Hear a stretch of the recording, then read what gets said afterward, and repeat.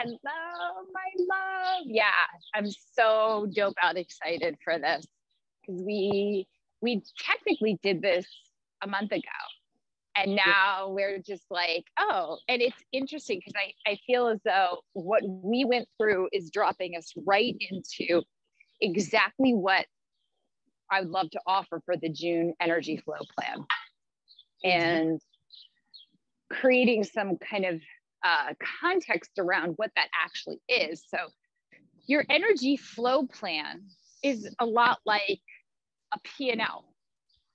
And instead of it just being isolated to like the archaic cash flow, you know, it's really looking at, it, of course, your cash, but cash is just one form of energy. But your body is an energy transformer.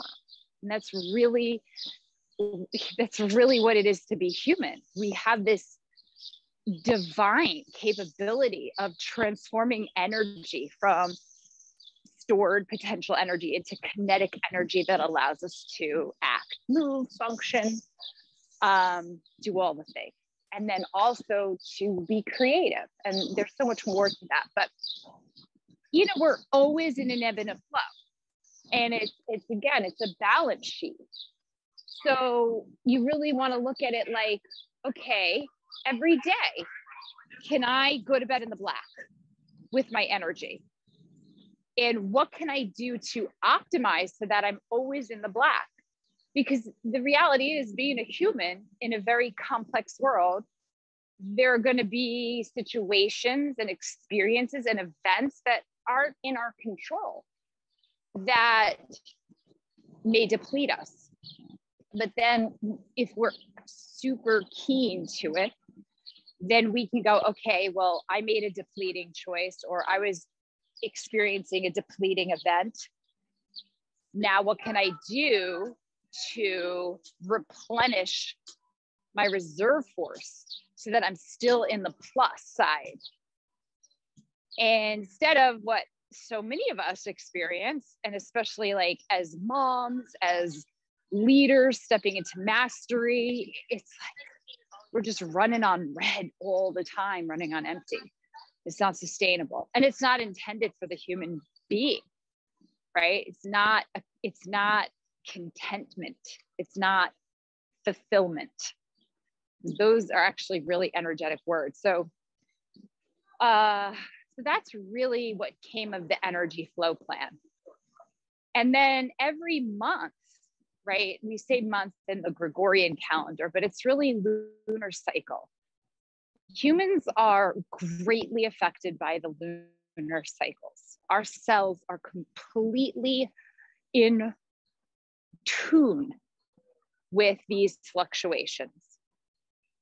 And so, what that offers us is every lunar cycle, there's a new moon and there's a full moon, and that marks kind of like new moon to new moon is kind of one astrological way of looking at a 28 to 30 day cycle.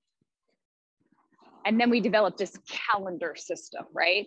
And then the calendar system has months that are related to zodiac signs, which is part of astrology, but it's all based so much on how we as humans respond to the energies that are available on planet Earth based on how the Earth is aligning to the planets in our solar system. Does that make sense? It absolutely makes sense. It absolutely does. And I love how uh, interconnected everything is. You know, sometimes I think as human beings, we forget how much influence there is on us as we're trying to hold on to um, the control. yeah. Ex- oh, I love that you said that word. Oh my gosh, because it's exactly what this this kind of like energy is about. And we, you and I have been like personally and professionally going through these experiences as have some of our clients in very, very powerful, very transformative ways. But yeah, it's oh, I love this so much. Oh gosh, so good. So control. Control is a funny thing. It is actually in our human nature to to kind of want to control things, to want to control our circumstances, outcomes, environments, relationships, because it stems from, in my opinion, this is my opinion, from a need to feel secure, to feel safe. And one of my spiritual teachers always offers up the deep teaching that there's no such thing as security. So if that's if that's true, which I believe that it is, then and as a physiologist, it's really an interesting question because then you just tap right into well, where do you live? You live inside this spacesuit we call a human body. And the human body is a self organizing organism, and it has absolutely everything that you require in order to carry out whatever your soul's destiny is. It's already laid out for you in your DNA, in your genetic coding that's unique to you, mapped out through your natal chart on the exact moment you were born. It's fascinating, right? So, where I would love to offer, and especially coming into June, because there's a lot in June, we'll say Gemini. So, tomorrow is the new moon in Gemini, and it is also a solar eclipse.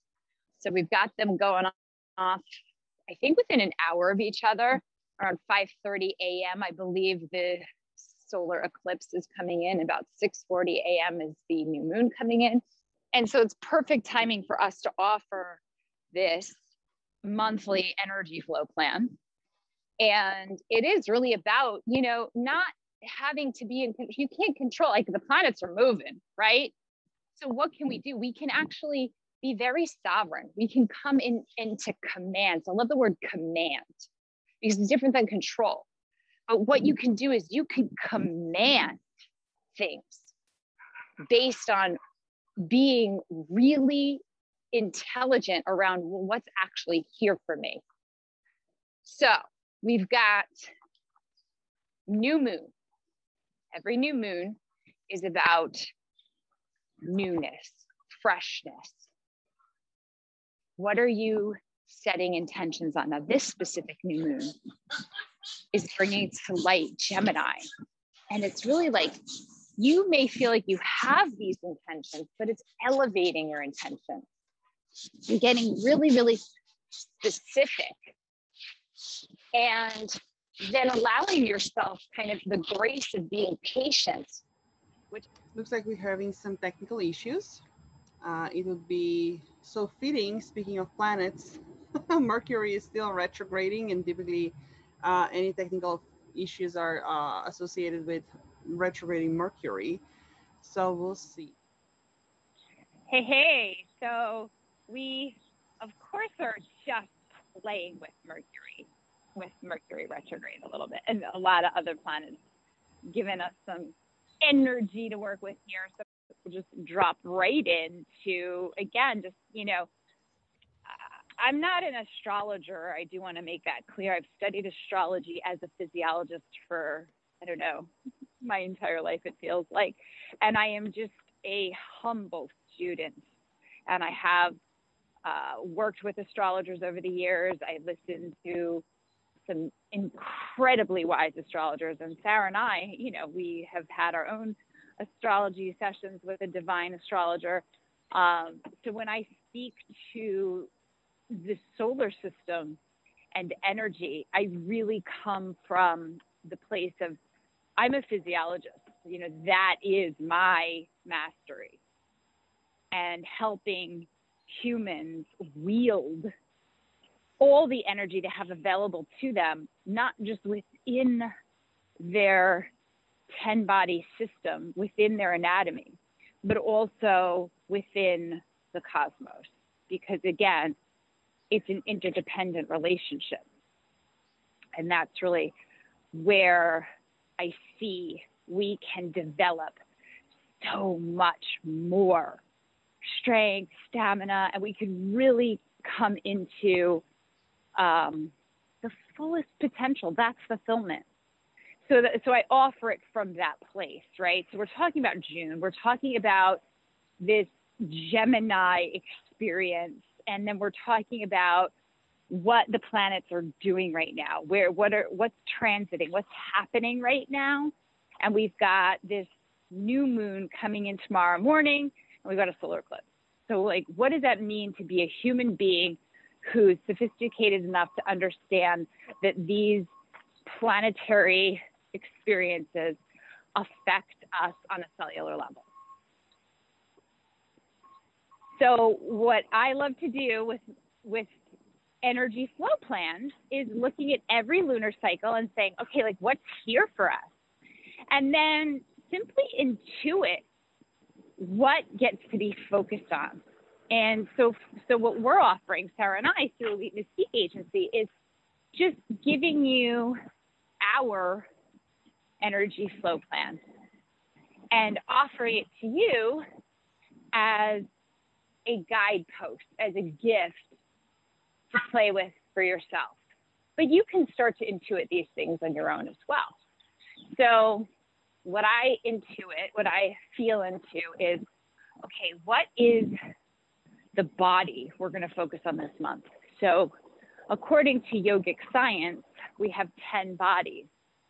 We have and basically an energetic anatomy that includes your aura, your arc line, your radiant body, your soul body, your subtle body. And then we have our mental bodies, to which we have three. We have a positive mind, we have a neutral mind, we have a negative mind. They all work together. And of course, then we have our physical body, and then we have our pranic body. So the 10 body system is dynamic and there's energy specific to each of these anatomical parts, if you will. It's like the same thing as like your your cardiovascular system is responsible for very specific functions. Your digestive system is responsible for very specific functions. It's the same with your energetic anatomy. And then you have, in addition to that, again, according to uh, more of the, the mystical principles and mysticism, magic, science, it's all the same it's just an opportunity for us as humans to exalt ourselves and just really have fun while we're in this beautiful form. So we've got this chakra system. So technically, we have multiple chakras. Most people work with that are familiar with it with a seven chakra system. Uh, in the yogic lineage I follow, we work more with eight and beyond. But we will just talk about okay, seven so, what chakra are we going to focus on for this lunar cycle? And then we have our tattvas, our five elements, right? This is about not just within, but without, right? Within you, the five elements and how you work with them. And for me, in my direct experience, again, as a physiologist, I love to play with the tattvas in relation to the five senses and it's very, very powerful. So there's an opportunity to look at okay, what elements are you focusing on this month? Fire, air, earth, ether.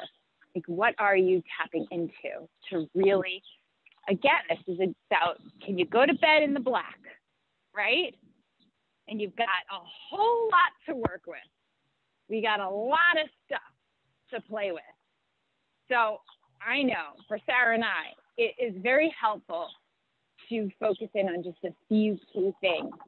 And so I always just open myself up energetically to receive whatever the divine wants to drop in as far as I just ask, like, hey, universe, divine, mother, nature, where can we be guided this lunar cycle?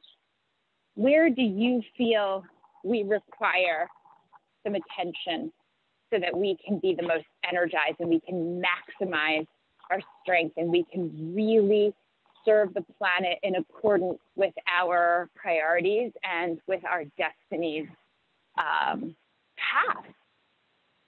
So I asked that, I meditate on it.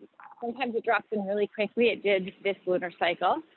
And so for Elite Mystique Agency, as to which it's its own entity, our company, your company is your own entity. You keep it company with your service to it. And Sara and I are looking at the crown chakra, the subtle body, the fire element. So much fun, right? So, any questions, Sara? I can't wait to dive deeper into each one of those elements, and especially from the perspective of how a person on the other side of this line listening can put it into, um, can layer in into their daily routines, the habits that uh, they can then develop to exalt themselves. Fire. I mean, you know, it's it's a it's fiery season, right? And it's it's it's hot here in the north. It's summer. It's going to be summer. We're entering the summer solstice in this in this lunar cycle. It's so exciting. It's personally my favorite time of year. Also, it's a solar eclipse tomorrow. And, you know, before that, like really, eclipses can affect the human body again, according to some scientists, up to six months to a year prior, depending on where your natal chart is and if it's like aligning with specific degrees. Um, you can really, really feel them for a long time. But like 10 days to a week prior to the solar eclipse is when you really want to, you know, start kind of noticing what's what's happening around you and in you. And so I find this really cool because I you know, created our June energy flow plan on June 1st and tomorrow's the 10th, right? So fire, as we're coming into the solar eclipse, like what does that, what does that mean? What does that feel like in our bodies? You know, and, and what I've been noticing is this deep relationship to my hearing. What are we, what are we, and, and this came up for Sara and I so deeply. So of the five senses, fire and hearing. Well, Sara and I, even just yesterday, were like, wow, are we just contributing a lot of fucking noise to what's already a really, really, really noisy digital marketplace? It's so noisy. People are so overloaded. And I know that for months now, I have been just craving silence and stillness and and just really like ah almost like i just want everybody to shut up. And i feel as though fire can offer up the opportunity to just burn the noise burn out the things that are just not relevant to you and you feeling amazing and vital and fulfilled right? Energizing. And use that fire to just burn it out and become you know fire gives us focus right? And it's it's passion. It's like be more discerning about who you are what you're passionate about and then tune your ears into that frequency and that frequency alone. And just on a side note it really is then it, I love how it just is also divinely related, as you said, Sara, like because the subtle body, the subtle body offers us an energy of calm. Calm. We get subtle, we get quiet, we tune in.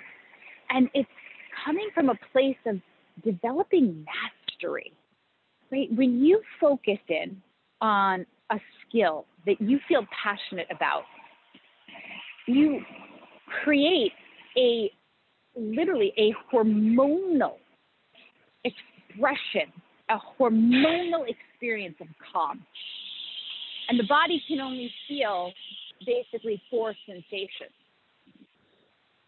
calm, excited, pleasant, or unpleasant.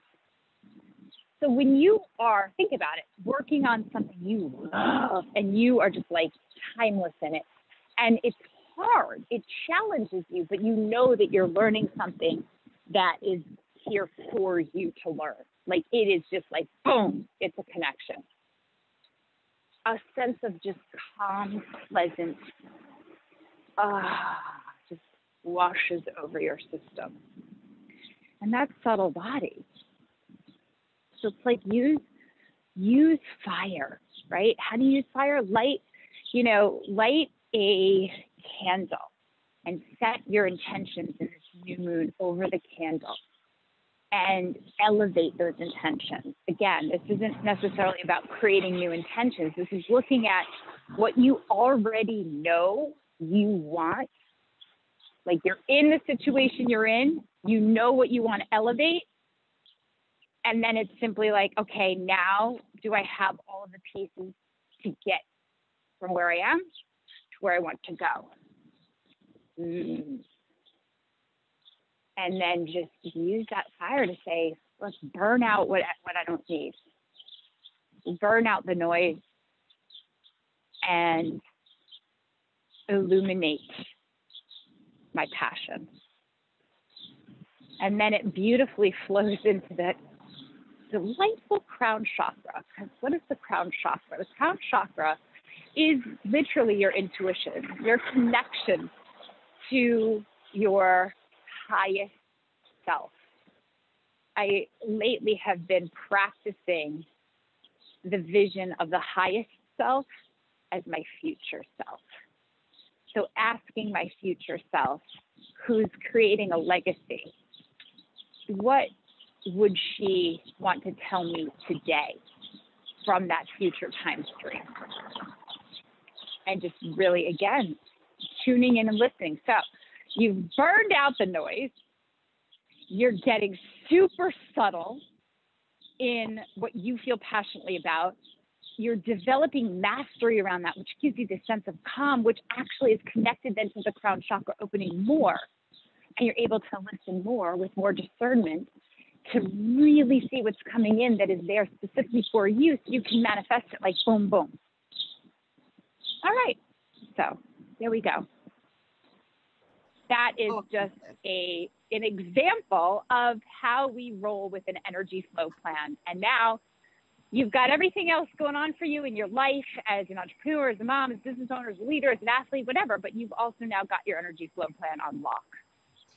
And yes, that energy flow plan, if I may chime in, um, it's the thing that separates grinding and hustling and just pushing through and hoping for the best compared to or versus or um, instead of uh, this literally flow you know diana and yeah. i have been talking about so often how the word ease in itself doesn't quite excite us we embrace timelessness and we embrace pressure but both in the context of a flow so with this flow yeah. chart what we can do then um, to take it even a step further when it comes to the actual quantum strategies that are in alignment.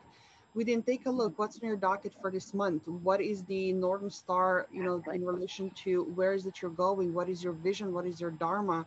Um, what is your energetic vibration? And we literally skip the middle steps. All the things that were tripping you over all the friction points that were consuming your energy and your time and your focus. So just through that, you can then enjoy way more time, way more freedom, and uh, have much more energy to really pour into things that matter to you the most, whether it's in business or at home or with family. And most importantly, it can be both. It get to be all of it. Mm-hmm. Absolutely. Yep. That that's the pragmatic piece to how you you know we're here wielding the energy and how do we how do we then channel it into well what is what does my daily look like? And that way you're never ever a bitch to your schedule. You know you create your schedule based on your physiology and your relationship with the the cosmos. Because it's like this is we're we're inhabiting planet earth and we're here in this 3D realm. Yet we are multidimensional creatures. Exactly. And leaders these days stepping into mastery really require the fitness to be able to straddle this, toggle between them, leap between them. Because, you know, they're there and we are a bridge in a sense for many others looking looking to have a you know again an elevated experience. Exactly. so good. I feel like like lots of closure here like very very direct because that's how we roll. And you know if you're somebody who's like really called to learn more about this and and also if you are really seeking more customized guidance i mean this is what we do at elite mystique agency. It is really about creating a customized experience you know intimate sacred experience for you. So sara and i we we love to play we love to have fun. And so we've been dancing around the idea like we both love dressing up, and it's been a damn long time since we've done it. And we both grew up as athletes, and we've attended many fundraisers here and there over the years, and you know, awards, dinners, and ceremonies. There's a lot of pomp and circumstance in the athletic world. And but something that feels so romantic to both of us is I like to say it the way Sara says it because she, here in the States, has an accent. She doesn't think she has an accent, but we in the States say she does.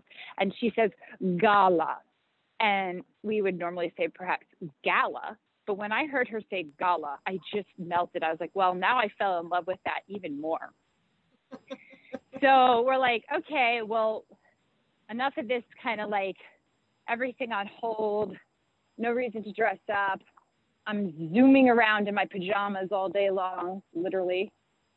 And let's have ourselves a gala.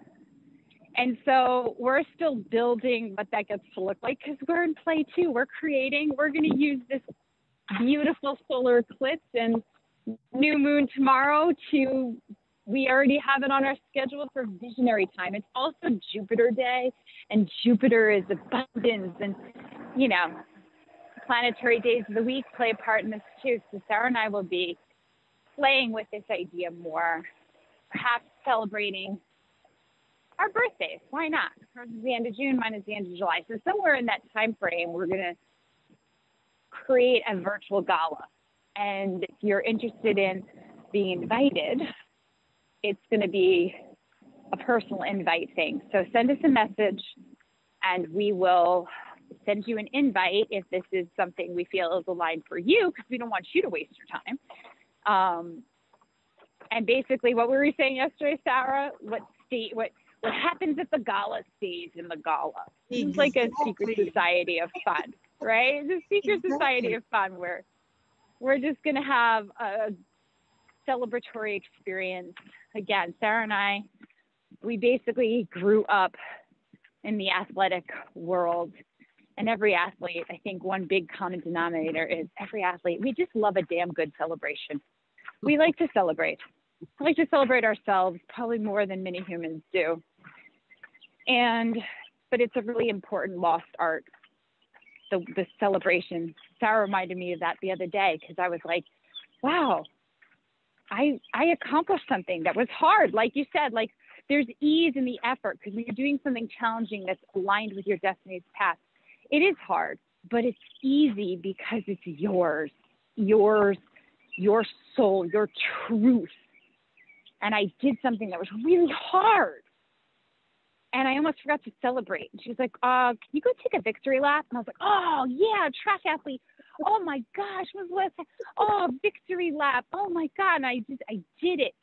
And I, and I just repatterned my biology. Like I just feel exalted from that. So we're, we're going to move on that fun energy, create a celebration. If you want to be invited, let us know. We'll, we'll hit you up when we know exactly what it looks like. And perhaps we can end with that. Any any other last divine words, my sister girl? Would, oh my gosh, you know me, if I start talking right now, we're good for another three days of channeling and soul yeah, so, we both love to talk, which is awesome. Exactly. So I will honor the uh, attention and the time of everybody who is here with us, present and not present in one way or the other. Um, and just want to say thank you, Diane, and thank you to the listener on the other side of um, whatever technical device. Whatever transmission. Yeah, exactly. Transmitting this to you. And uh, just echoing. Quantum, baby. quantum. That's it. Um, we're here. We're here to support you. We're here to elevate you. We're here to exalt you. And uh, it's all fun. It's amazing and it's intimate. And like Diane said, what stays in uh, the gala, not just the gala. The gala. The, the gala. The gala. The gala. the gala. Also, uh, that is one of the things that we really pride ourselves in, in the creating a sacred space, right? Um, that you're not going to be hearing about the details posted all over social media because it is a sacred space. So if mm-hmm. this calls to you, if you know it in your heart, if you're curious, let us know and we'll go from there. You know where to find yep. us. Simple as that. And uh, sending you so much love, Diane. You're in Maryland right now. I'm here in the lower Hudson Valley. It is gorgeous, hot, uh. sunny. so I'm sending you a ton of sunshine. All good. Love, love. Bye. Bye.